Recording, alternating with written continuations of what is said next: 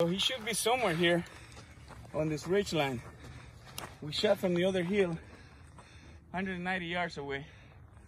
He was coming up on this little dirt track.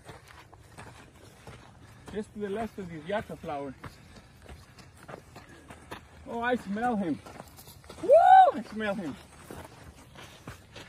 Holy mother of God. What have I done? Oh man, look at this, bro.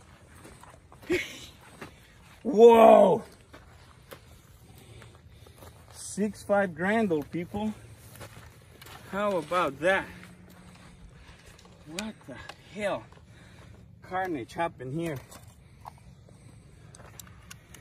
Whoa. Bro. Look at this thing. Whoa.